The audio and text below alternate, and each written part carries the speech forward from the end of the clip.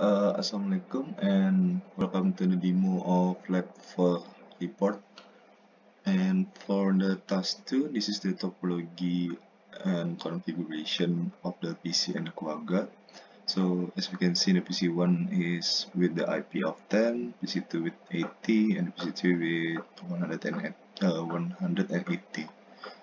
So first of all, this is the command of the Quagga. So we are setting the ETH0 with the gateway address, ETH1 with the gateway address, ETH2 with the gateway address, and then we use the command of router OSPF to set the dynamic routing, and then we write the the command. After that, we use the show running config, and then we show the IP route we show the IP OSPF route and then lastly we show the IP OSPF database.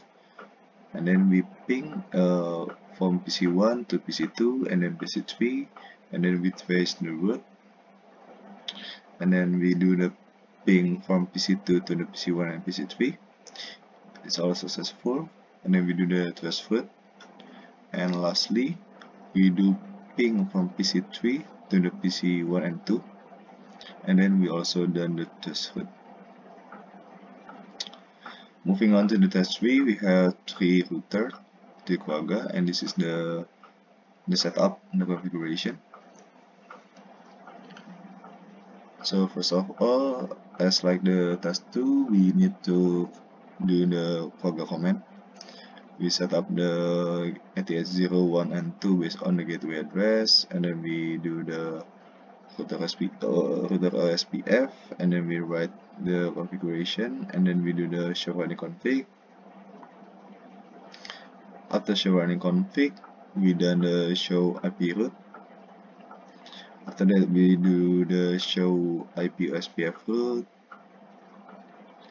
and lastly we do the show IP SPF database. After that, we done the same with the Quagga number 2.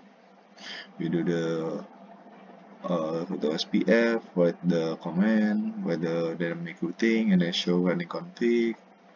And then we do the show IP route, show IP SPF route, and then we do the show IPOSPF database. And lastly we do in Quagga 3 we uh, write the dynamic routing router OSPF and then show running config and then we do the show IP route show IP OSPF route. And then and then now uh should be yes that's okay. And now we try to ping from PC1 to PC2 and 3 so we set up the PC1 with the IP of 10 and we successfully ping from PC1 to 2 and then PC1 to PC3 and then we done the route and it is successful. And then we do the ping from PC2 to PC1 and 3 the PC2 has IP of 80 we ping to PC2 and PC3 and then we PC1 and PC3 and then we done the transfer and it's all successful.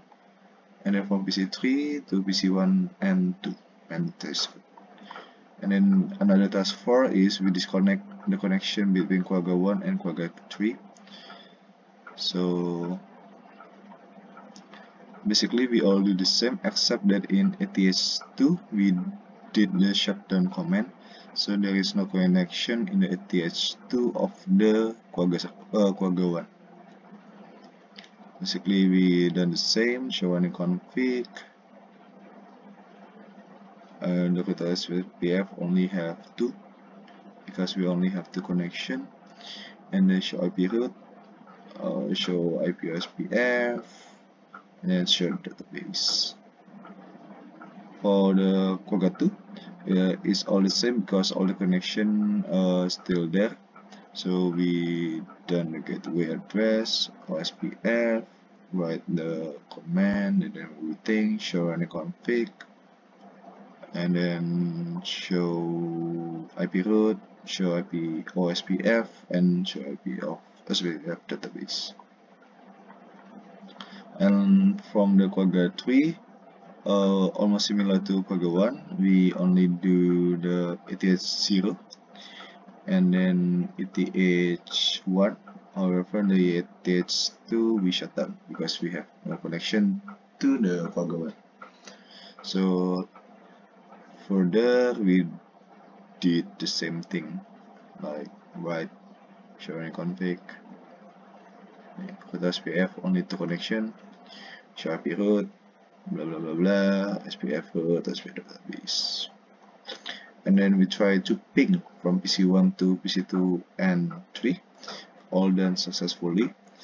For the trace route the difference between the task 4 before uh, when PC1 try to trace PC2 is all 3 hops. However for the PC3 they are 4 hops because uh, there's no connection so it needs 4 hopping to PC3 for PC2 uh, we ping PC1 and 2, eh, PC1 and 3 and it's all the same successfully. For PC3 we try to ping PC1 and 2. For the PC1 it has 4 hops for the trace route because there is no direct connection from PC3 to PC1. And then uh, for the PC3 to 2 it's the same 3 hops. That's all for the demo. Thank you very much. Wassalamualaikum.